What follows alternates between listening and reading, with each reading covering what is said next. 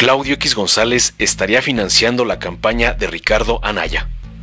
Tras anunciar sus aspiraciones presidenciales para 2024, Ricardo Anaya hizo que comenzaran las especulaciones entre los panistas sobre quién financiaría el recorrido por mil municipios que prometió.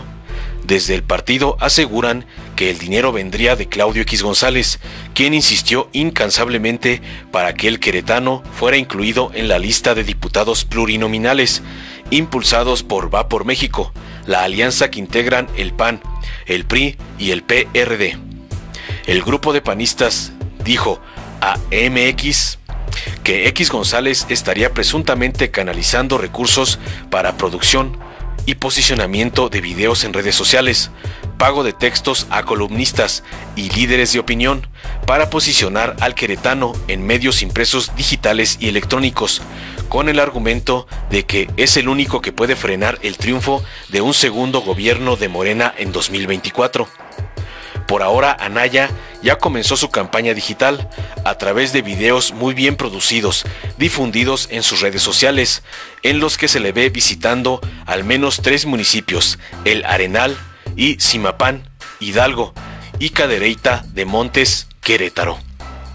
Sobre su autodestape presidencial, algunos panistas han comentado que fue un mecanismo de vacunación ante una posible orden de aprehensión en su contra, la cual podría canalizarse en las próximas semanas. Ya como precandidato presidencial podría victimizarse y argumentar persecución política. Indican los mismos que se dicen convencidos de que Anaya sí recibió 6.8 millones de pesos del exdirector de Pemex, Emilio Lozoya. También consideran que Ernesto Cordero anda muy escondidito. A él también se le acusa de haber recibido un moche de sobornos provenientes de Odebrecht. Hay que recordar que en su declaración hecha en agosto pasado, Lozoya dijo a la Fiscalía General de la República, FGR, que el entonces secretario de Hacienda, Luis Videgaray, lo instruyó para recibir a Anaya y a Cordero en las oficinas de Pemex. En específico, Luis Videgaray Caso me instruyó a entregarle 6.800.000 pesos a Ricardo Anaya Cortés, quien había estado insistiendo en reunirse conmigo. En dicha reunión, él me comentó sus aspiraciones a ser gobernador de Querétaro y que odiaba a su contrincante, al senador Francisco Domínguez Servién, por corrupto, pero que él había negociado con Luis Videgaray Caso que se le apoyara en llegar a dicha gobernatura, señaló. Según este grupo de panistas, la precipitación de su ex candidato presidencial ya puso al PAN entre la espada y la pared. Sobre sí, seguirlo en su aventura o desde ahora marcar una línea bien definida que blinde al partido de futuras denuncias por violentar la legislación electoral y no definir cuáles serán las fuentes de financiamiento que ya está usando para apuntalar su proyecto personal.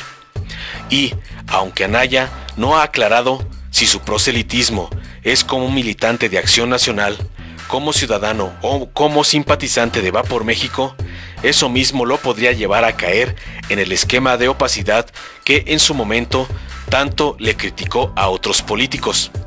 Finalmente, otro obstáculo que enfrentaría el queretano próximamente sería el silencioso regreso al PAN de Felipe Calderón y Margarita Zavala, quienes renunciaron a su militancia en 2018, argumentando que permanecer en el partido implicaba una desviación y pérdida de tiempo.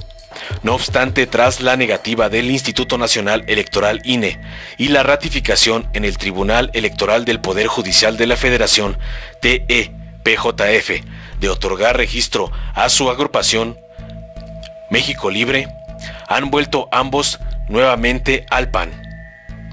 Informó Mr. Politicón, nos vemos el próximo video. En los momentos difíciles de esta pandemia hemos aprendido a priorizar lo importante, el bienestar de nuestros seres queridos. Por eso en Morena donaremos la mitad de nuestro presupuesto para la compra de vacunas contra el COVID-19. Mientras otros partidos gastan ese dinero en propaganda llena de mentiras, para nosotros por encima de todo está primero la salud de los y las mexicanas. Porque el dinero, como el poder, solo sirven si se ponen al servicio del pueblo. Morena, la esperanza de México. La cuarta transformación está poniendo fin a los excesos del pasado, cuando antes se había gobernado con verdadera austeridad, priorizando a quienes más lo necesitan. Cuando un presidente había renunciado a los pinos, al avión y al Estado Mayor Presidencial. Cuando se había declarado a la corrupción como el peor enemigo de México. En Morena no hay espacio para lujos y derroche. No puede haber gobierno rico con pueblo pobre. Morena, la esperanza de México. ¿Sabes quién está detrás del movimiento conservador Sí por México y la perversa alianza electoral Va por México? Nada menos que Claudio X González, empresario que financió en 2006 la campaña de guerra sucia contra Andrés Manuel, donde invirtieron miles de millones de pesos mintiendo que era un peligro para México, para después robarse la elección. En 2012, orquestaron una nueva guerra sucia y compraron la presidencia. Y en 2018, hicieron todo para impedir el cambio que México necesitaba. Él ha sido un gran beneficiario de contratos millonarios en los gobiernos corruptos neoliberales y desde hace años pretenden comprar la vida pública con el poder económico. Este 2021 nuevamente hará todo para detener la cuarta transformación él es el verdadero jefe de la tóxica alianza electoral del PRIAN, a quienes somete y manipula a su voluntad. Ellos son el movimiento que dice sí a la corrupción, sí a la impunidad, sí a la pobreza. En los gobiernos de Morena, nos ocupamos de quien más lo necesita, entregando los apoyos directo a la gente y combatiendo la corrupción. Extirpemos al PRIAN. Morena es la esperanza de México.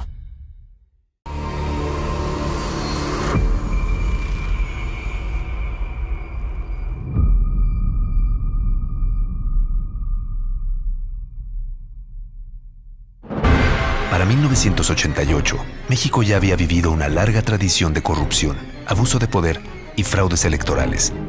Pero ese mismo año, el PRI y sus aliados mancharon para siempre la historia de la democracia en nuestro país. Este hecho dio comienzo al noviazgo entre el PRI y el PAN. Aquí hubieron irregularidades, por supuesto, se señalaron.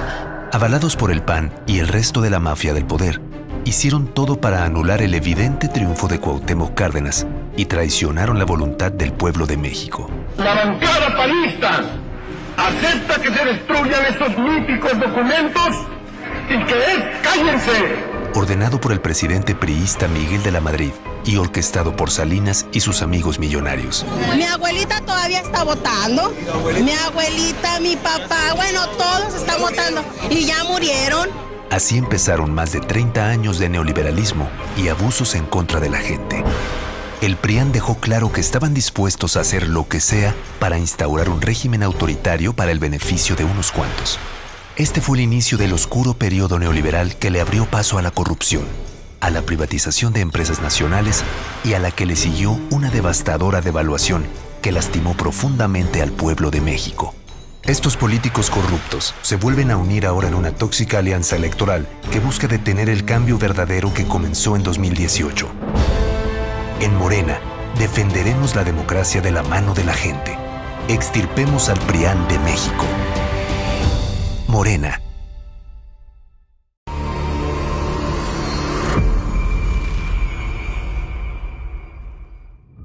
En los noventas, la mafia del poder ideó un plan siniestro para saquear lo que le pertenecía al pueblo. Y solo podían lograrlo si tenían el control del Congreso para modificar las leyes, para que nada les impidiera hacer negocios a costa del pueblo. Fue así como priistas y panistas se unieron para aprobar las reformas con las que comenzó la etapa de privatización de los gobiernos neoliberales. Con esto, Salinas malvendió los bancos a sus amigos millonarios y privatizó cientos de empresas, malbaratando el patrimonio de las y los mexicanos, quienes sintieron de manera inmediata los efectos de este golpe a la economía del país. Nosotros privatizamos los bancos, la compañía telefónica, las líneas aéreas, la siderurgia, las minas. Estamos ahora procediendo a privatizar los puertos, los aeropuertos. No les importaron las leyes, ni la justicia, ni el bienestar del pueblo. Solo pensaban en su riqueza y en fundar un régimen neoliberal que duraría décadas. Sí, hubieron prácticas indebidas de algunos que participaron en la privatización. Mientras unos cuantos vividores gozaban de sus riquezas, el resto tuvimos que pagar sus deudas y sufrir las crisis económicas. Lo que era de todas y todos pasó a ser de unas pocas familias que siempre han sido aliadas del PRIAN y se creían dueñas de México. En los sexenios siguientes, el PRIAN siguió privatizando el patrimonio de las y los mexicanos. Pero la cuarta transformación llegó a ponerles un alto. Nuestro movimiento le está devolviendo al pueblo lo que es suyo. Mientras los prianistas se aliaron con la corrupción, la alianza de Morena es con la gente.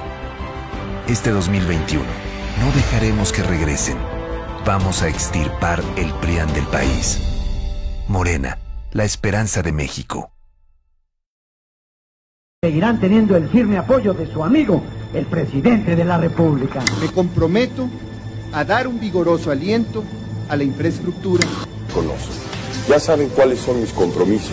Empleo, seguridad, educación. Voy a reducir los impuestos para quienes trabajan. Si llevamos a cabo esta reforma, bajará el precio de la luz y del gas. Llevamos años viendo lo mismo. Es momento de cambiar.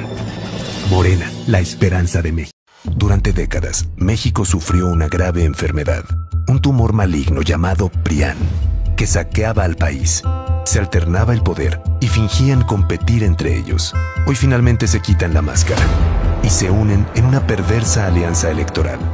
A ellos los une la corrupción, la ambición y el miedo de seguir perdiendo el poder. Si te gustó, no dale like, compártelo, suscríbete y activa la campanita para recibir las notificaciones Morena, de nuestro canal.